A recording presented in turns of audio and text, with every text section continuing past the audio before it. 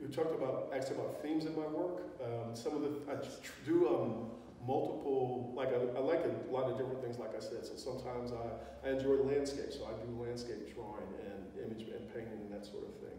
Um, but I also like art that deals with, uh, that has a message to it, that deals with pertinent social issues, so I bring that to my work. I feel that I want my work to be aesthetically pleasing on some levels, but I want some work to make people think about things. Uh, so a lot of my work will have layers of meanings and messages in them.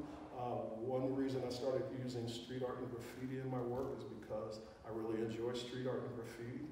Um, the other reason is I use it as a visual, sort of a decorative element in my work, so I think it creates a unified surface.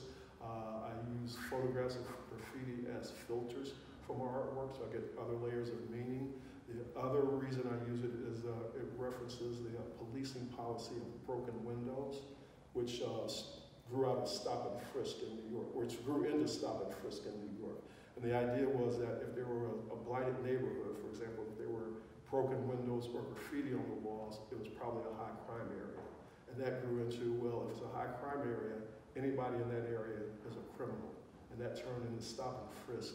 And then that turned into the um, strangulation of Eric Garner on Staten Island.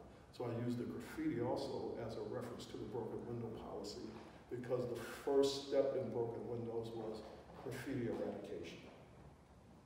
So that's what I mean by using multiple layers of meaning. So even though this doesn't overtly have a political message behind it, the subtext of it